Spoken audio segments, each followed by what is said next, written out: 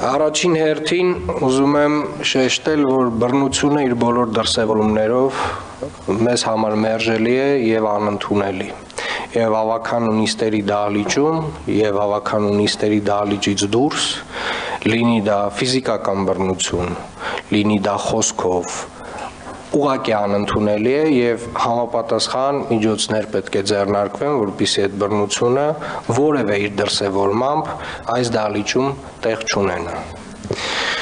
Երկրորդը ուզում եմ ասել, որ ըստ մեր կանոնակարգի, հարգելի գործընկերներ, մեր քննարկվող հարցերը, տրվող հարցերը, հնչող ելույթները պետք է վերաբերեն այն հարցերին, որոնք որ կան օրակարգում։ Մենք ունենք ավելի ազատ ֆորմատի հարցադրումներ հարց ու պատասխանի ժամանակ եւ մենք ունենք ավելի ազատ ելույթների հնարավորություն այլ կրկին համապատասխան ֆորմատի ժամանակ։ Եվ ես կխնդրեմ բոլորին այս ընդհանուր կանոնները պահպանել։ Մեկ վարքան։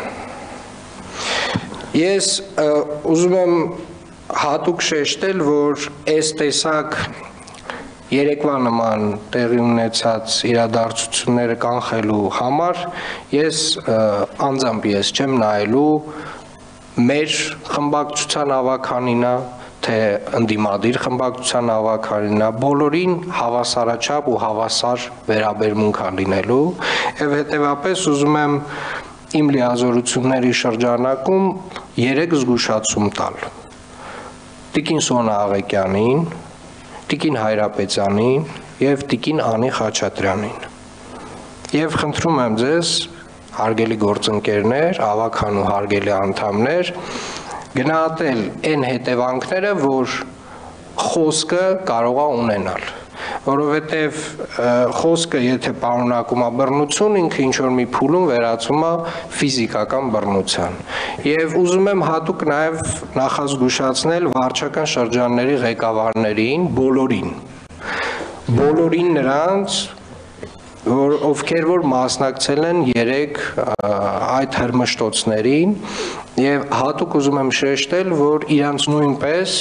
հետագա որևէ նմանատիպ արարք չի ներվելու բոլոր վարչական շրջանների ղեկավարներին չառանձնացնելով ոչ մեկին, չնայած վստահաբար մեկը մի քիչ ավել, մեկը մի քիչ պակաս է մասնակցել, բայց ուզում եմ